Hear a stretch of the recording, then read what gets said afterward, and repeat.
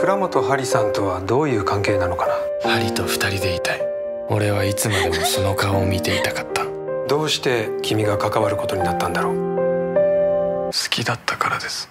私先輩といるのが一番楽しい。一番幸せ。一瞬でも長く二人でいたい。どうしても先輩に言わなきゃいけないことがあって。なんで嘘ついた？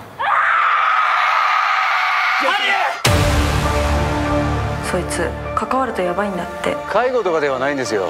お気遣いなく。父は危険です。閉じ込めたって噂。どうしてこんなことになってしまったんだろう。今ならまだ戻れるぞ。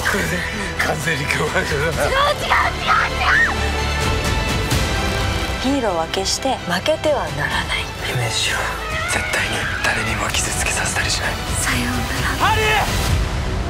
私が好きなのは先輩です。